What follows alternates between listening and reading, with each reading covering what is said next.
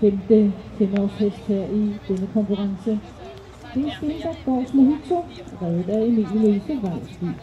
Ja, og så kommer jeg nemlig ind i skolen der. Stenbæk Gårds Mojito er en femårsfest efter godt Godsen Girevagi med Lambrusco Ask som morfar.